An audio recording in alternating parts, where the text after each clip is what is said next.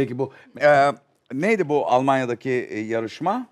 Bizde de şey oluyor. O ses Voice of Germany. Voice of Germany. Orada bakalım mı? Onu e, izleyelim. Hakikaten e, bizim için de e, çok hem eğlenceli hem e, gurur kaynağı bir şey. E, ses de. Zor bizi Ee, ama burada orada bir jüri var. Ve o jüridekiler çok mu meşhur insanlar? Nasıl mesela nedir? Mesela Türkiye'de karşılık e, bulmaya çalışsan. Ee, bayan Sarah Connor bir Sıla diyebiliriz. Ha öyle şey öyle öyle deme. Ee, ya da öyle de. Peki Sarah, Sarah Connor Sıla. Yani Peki. şu an en önde gelen. En e, önde gel. Sizinle birlikte kim var ee, perde arkasında? Benimle- Akrabalar mı var? Arka e, Arkada sevinen sizinle beraber eşim gel- var, Eşiniz var. kardeşim var ve Hı hı. e, en yakın arkadaşlarım. Hepsini alıp gelebiliyor musunuz bütün mahalle? Evet. Zaten pandemi dolayısıyla aralarında e, duvarlar var. Duvarlar. Peki açalım sesini. bizi vurdu Hiç sormadı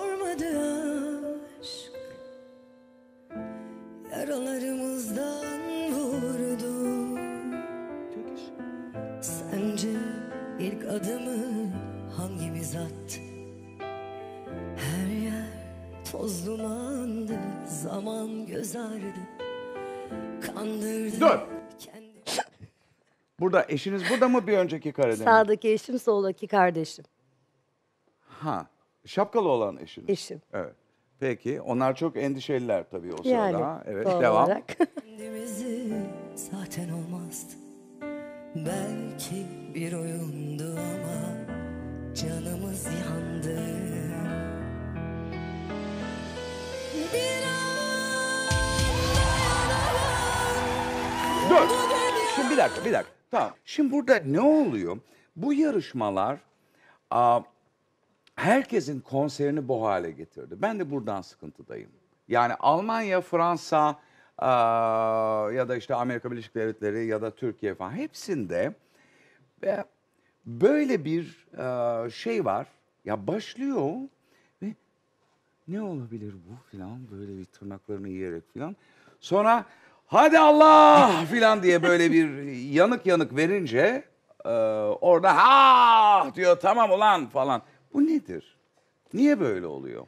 Yani bunun ne olduğunu açıkçası Ben hiç böyle bir bilmiyorum müzik ama ben dinlemiyorum e, yani. Sen dinliyor musun bilmiyorum. Yani ben hiç böyle bir müzik dinlemiyorum. Yani birisi başlıyor tıngır mıngır tıngır mıngır diye falan sonra ya Allah diye bir yerden böyle O ses yükseldiği zaman insanlar galeyana geliyor sanki değil mi? Böyle bir şey Evet oluyor ama bu bu orada. yarışmaları seyrettikten sonra, Sonra, bizim evet. oyunda da var. Bizim oyunda da var mesela bizim e, Harem Kabare'de e, hem oyuncu hem e, şarkıcı arkadaşımız Ödül Turan'ın mesela bir şarkıda yorum var. Bir çıkıyor böyle ne diyoruz buna Tuncer? Buna ne isim veriyoruz böyle bir e, yükselmeye müzikte?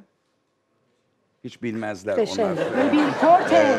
crescendo denir. Crescendo denir Crescendo, değil mi? evet. Başka ne denir? İşte bilmiyor. Ee, tabii ki biliyor da yani bir şey bir şey diyor. Ne? Crescendo. Evet. Forte mi? Ne? Crescendo. Forte. Crescendo'nun demek olduğu, ama yani. yükselişin olduğu yer. Evet. Bizim türkülerde filan da var. Değil mi? Şeyde yanık yanık arabeskte var. O bir şeyle başladı. Ebru Gündeş'le başladı. O böyle bir Olur mu? İbrahim Tatlıses İbrahim var. Tatlıses doğru. İbrahim Böyle bir Tatlıses var. Pes bir sesten başlayıp sonra bir anda onun oktavını alıp böyle bir anda sesi Evet. patlatıyor ve ortalık bir anda yıkılıyor. Evet. Evet.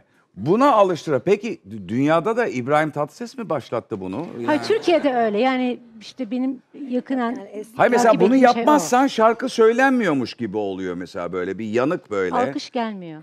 Alkış gibi be- aa Olmayınca falan. gelmiyor. Yani. Böyle duygulu duygulu filan. Hele Onlar da Feydat'la falan Yani bitiyorsa hiç şansı yok o şarkının. Bu tarz tabii olayları sahnede de çok yaşıyoruz biz. Peki Ben çok burada burada senin söyleyişin şarkının başına da yani aynı aynı e, müzisyen değil mi? Sen aynı kişisin. Başında da senin ne kadar güzel bir sesin olduğu, ne kadar güzel yorumladığın anlaşılması lazım. Oradaki jüri de bekliyor. Sen o çıkışı yapıncaya kadar. Yani o dediğim gibi genel olarak sahnelerde de yaşadığımız bir durumu ama e, yani şunu söyleyebilirim ki ben daha önce o şarkıyı zaten jürinin önünde yani arka plandaki jürinin önünde söylediğimde o pes kısımlarda da e, zaten e, ilgi çekmişti. Yani asıl olan müzisyenlerde. Tabii orada biraz da şov var tabii ki. O o anı beklemen gerekiyor. Yani jürilerin anında o butona bu basmamalarının. programın formatı değil mi bu? Tam Yani. o sırada koltuklar geri dönüyor, alkış o sırada Ama- geliyor, ışıklar patlıyor, havai fişekler filan. Evet ama genelde sahnede de yaşadığımız bir olay. Yani benim çok kez sahnede belki saatlerce şarkı söyleyip de anca böyle bir durumlarda böyle insanların aa kız da güzel söylüyormuş dediği durumları çok Ama mesela yaşıyoruz şöyle açıkçası. olmuyor. Mesela dünya büyük dünya müzisyenlerinden bahsettiğin zaman mesela Bob Dylan'ın herhalde 50-60 tane albümü vardır değil mi? Hiçbirisi de böyle bir çıkış yapmadığı için. Yani değil mi? Yani birçok birçok müzisyen böyle değildir dünyada. Bu moda oldu dünyada. Yani bir de şimdi o zamanla tabii bu zamanın da birazcık farkı var. Yani şu an tabii böyle bir ilgi uyandırmak çok daha zor diye düşünüyorum. Eskiye Hmm. Peki ne göre. oldu bu yarışmada sonra? Ben bilmiyorum gerisini. Bu yarışmadan sonra ben e, çeyrek finalde elendim. E, Kim birinci oldu? Benim direkt takımımdaki Alman e, arkadaşım birinci Hmm. oldu. Almanca söyledi. Evet Almanca söyledi. Peki Almanca söylenen şarkılar nasıl bir etkisi var Avrupa'da? Almanya'da değil Avrupa'da. Avrupa'da. Avrupa'da çok fazla bilgi uyandırdığını düşünmüyorum. Ben de hiç sanmıyorum. Aslında e, Avusturya ile beraber müziğin beşiği olan bir ülke. E, İtalyanca da biraz öyle. Yani İngilizce şarkı söylemedikleri İtalyanca zaman. biraz daha ileride diye düşünüyorum. Evet, iki, iki Almanca ülkede zor. müziğin yani tabii klasik müziğin özellikle e, beşiği ve çok iyi müzisyenler var. Kesinlikle. Çok çok iyi müzisyenler var evet. fakat dil dil yani sadece Dil sıkıntılı değil, Değil mi? sadece Türklerin e, ya da Fransızların önündeki problem değil işte herkesin yani Evet, Almanların da önünde kesinlikle. problem. İspanyolca güzel yürüyor dünyada. Çok fazla ülke var. Biz o kadar bilmiyoruz ama koskoca bir kıta var. Evet. Ve müthiş dinleniyor ve paylaşılıyor İspanyolca. Evet, doğru. İtalyancanın o şansı yok ama müthiş. Biz bütün İtalyancaları e, hepsini Ajda Pekkan'dan dinledik. İtalyan Mina'yı e, Evet. o da göçtü gitti. Toprağı bol olsun.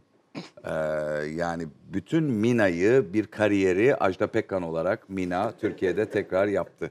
Ya hepsini dinledik o zaman. Ee, değil mi şeylerle, Türkçe sözlerle. Peki ee, Almanların karışık şarkılara daha çok ilgisi var. Ne demek istiyorsun?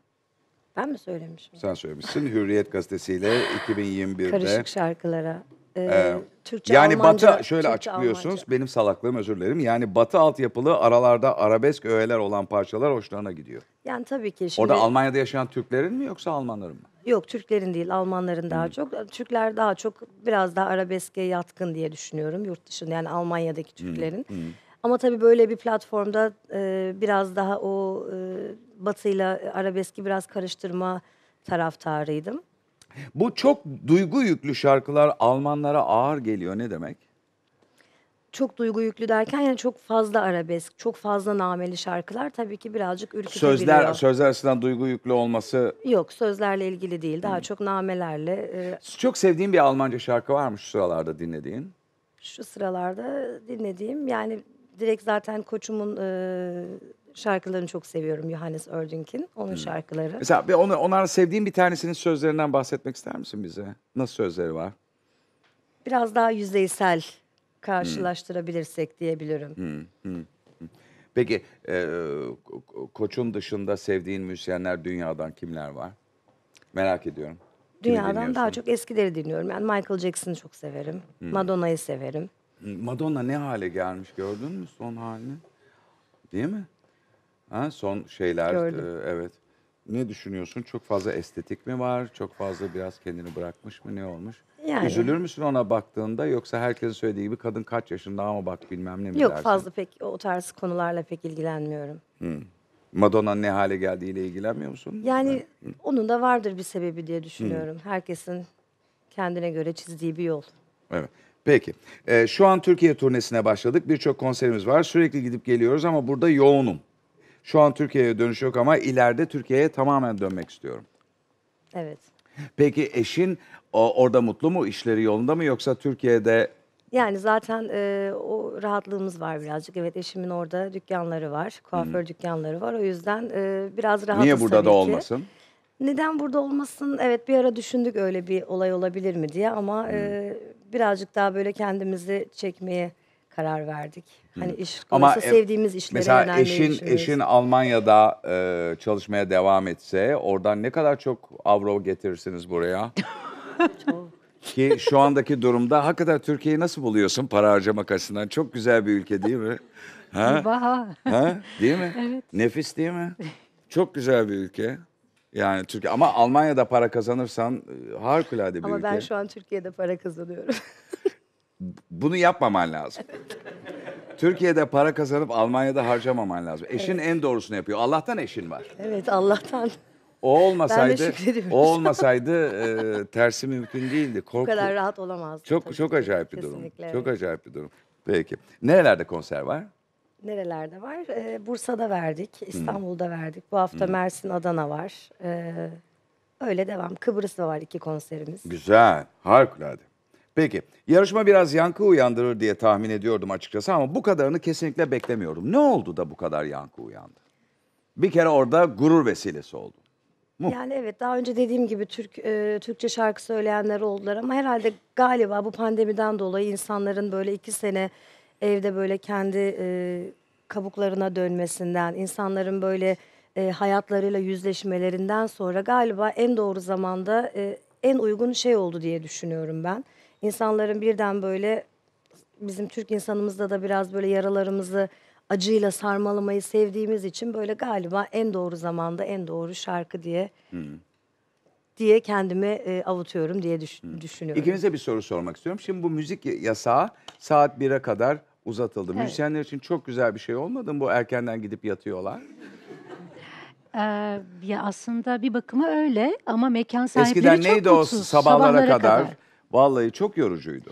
Ama dönüp dolaşıp yine müzisyenlere yansıyor bu durum. Olumsuz yönde. Çünkü mekan Ve sahipleri mekanlara tabii ki. mekan sahipleri eğer mutlu değilse müzisyenler de eve mutlu ayrılamıyor tabii ki yani dönemiyorlar.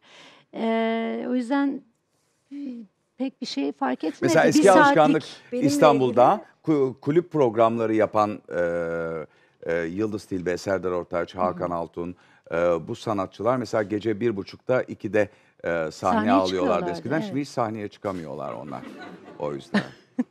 Çok üzüldüğümü söyleyeyim. Onlar hep evlerinde oturuyorlar. Erken saatte çıkanlar caz müziği yapanlar daha erken saatte e, şey yapıyorlar. Yani 12 Sahne. bence yani çok erken bir saat ama dediğiniz gibi bunun sınırının konuluyor olması zaten son derece e, Saçma. Saçma. Evet, Saçma. Kesinlikle saçma. Ama caz müziği mesela za- zaman içerisinde bütün o Amerika Birleşik Devletleri tabii ki başlangıç yıllarında hep sabahlar olmasın tarzı bir Tabii ki e, öyle. müziktir. Bizde Kerem Görsev erken saate çekmiştir caz Evet, müziğini. doğru. E,